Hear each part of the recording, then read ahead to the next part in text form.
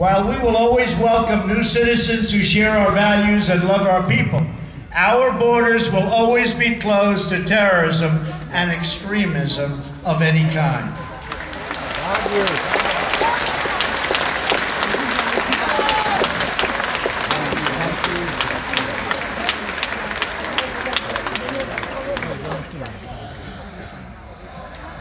Thank you.